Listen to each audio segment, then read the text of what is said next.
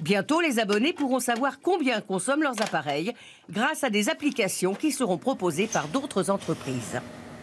Il existe des startups qui arrivent à déduire l'identité de votre équipement parce que chaque appareil a une empreinte spécifique, mais ça n'est pas encore actuel en France, mais ça le sera, je pense, dans 5-10 ans.